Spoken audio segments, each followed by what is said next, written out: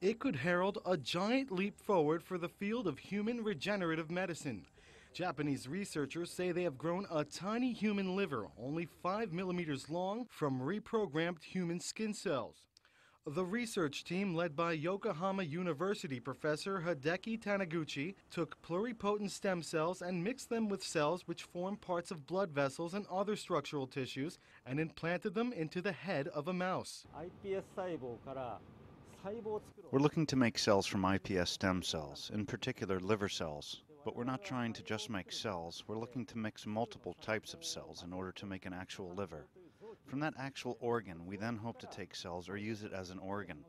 We hope to completely change the way of thinking about this. The team say they were amazed when their cocktail of cells began forming into a three dimensional lump, which they say represents an early stage of liver development. Taniguchi says there's still a long way to go before the research translate into a fully functional human liver. Among other issues, the team now need to find ways to scale up their efforts into a full-sized, fully formed organ.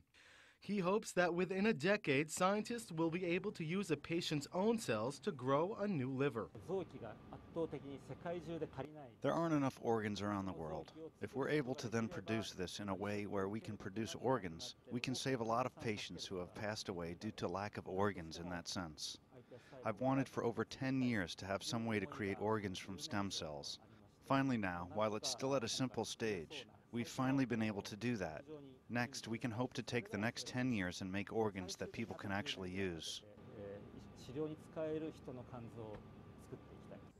Taniguchi jokes that in the future, people may not have to worry as much about the damage alcohol inflicts on the liver.